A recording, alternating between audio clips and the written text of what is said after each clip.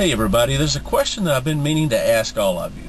I was reminded of this question while I was watching Andy Mooseman's video entitled, Are We Pioneers?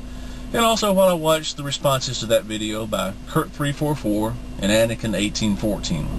My question is this though. When you're around friends and family and pull out the video camera, do you ever get a response kind of like this? I do not want to be on YouTube.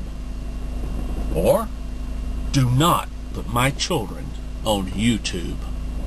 or, the most bizarre one I've heard of all, Do not put my dogs and my animals on YouTube. So what gives? Why do these people react that way? Oh, the easy response would be to say, well, they're private people. They don't want to be on the internet or YouTube. The problem is, all the people I mentioned, they're on the internet. Their dogs are on the internet. Their children are on the internet. So what is it? Do they just think we're a bunch of freaks? Do they think we're weirdos? Let me know what you think. Has that ever happened to you? Oh, and one other thing. Kurt, you really ought to try the engine cam. It's more efficient than the dishwasher cam.